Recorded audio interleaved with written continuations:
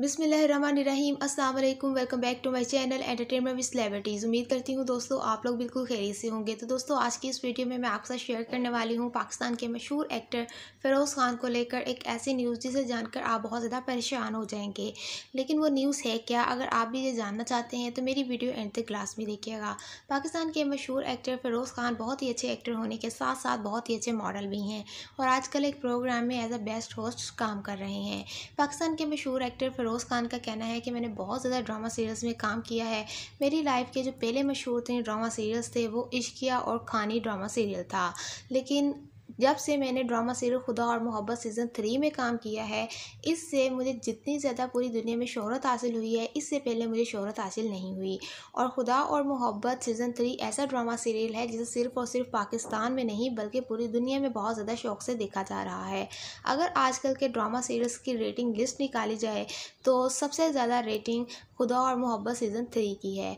पाकिस्तान के मशहूर एक्टर फ़रोज़ खान का कहना है कि खुदा और मोहब्बत सीज़न थ्री में इकरा अज़ीज़ के साथ मैंने जब से रोल अदा किया है, तब से लोग मुझे बहुत ज़्यादा पसंद कहते हैं। लोग मेरे और इकरा अज़ीज़ के कपल को बहुत ज़्यादा पसंद कहते हैं। और अक्सर लोगों ने फेसबुक व्हाट्सएप इंस्टाग्राम ट्विटर वगैरह पर मेरी और इकरा अज़ीज़ की डीपी लगाई होती है। पाकिस्तान के मशहूर एक्टर फ़िरोज़ खान की ड्रामा सीरियल खुदा और मोहब्बत सीज़न थ्री में शूटिंग करते वक्त अचानक से तबीयत ख़राब हुई, उन्हें हॉस्पिटल ले जाया गया और वहाँ पर एमरजेंसी वार्ड में उन्हें एडमिट कर दिया गया और खुदा और मोहब्बत सीज़न थ्री की शूटिंग भी अचानक से रुक गई।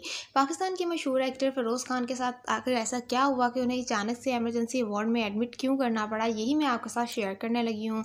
पाकिस्तान के मशहूर एक्टर फ़िरोज़ खान की अचानक से तबीयत ख़राब हुई, उन्हें काफ़ी ज़्यादा बुखार था और कुछ फ्लू भी फील हो रहा था और साथ ही साथ शूटिंग करते वक्त उनकी सांस रुकने लगी, जिससे उनको फ़ौर से हॉस्पिटल ले जाया गया और वहाँ पर उन्हें एमरजेंसी वार्ड में एडमिट कर लिया गया। पाकिस्तान के मशहूर एक्टर फ़िरोज़ खान की कोरोना की रिपोर्ट भी करवाई गई। दो दिन बाद जब कोरोना की रिपोर्ट आई तो वो नेगेटिव थी, लेकिन फिर भी उनकी तबीयत पर कोई असर ना पड़ा, उनकी तबीयत वैसी ही ख़राब रही। इस पर उनकी फैमिली बहुत ज़्यादा परेशान हुई। उन्होंने फरोज खान के तमाम तरमदाहों से दुआओं की अपील की। हमारी भी दुआ है कि अल्लाह ताला फ़िरोज़ खान को जल्द अज जल्द से जाबियत आ करें। आप लोगों की क्या राय है? आज की वीडियो कैसी लगी? अपने कीमती ख्याल का इजहार कमेंट सेक्शन में ज़रूर कीजिएगा। वीडियो पसंद आई हो तो लाइक और शेयर करना मत भूलिएगा। और जिस जिसने अभी तक मेरा चैनल सब्सक्राइब नहीं किया, वो मेरा चैनल भी सब्सक्राइब करें ताकि न्यू आने वाली हर वीडियो का नोटिफिकेशन आपको मौसू हो सके। अपना बहुत सारा ख्याल रखिएगा, मुझे भी अपनी दुआ में याद रखिएगा। इन नेक्स्ट वीडियो के साथ फिर हाजिर होंगी। तब तक के लिए अल्लाह हाफिज़।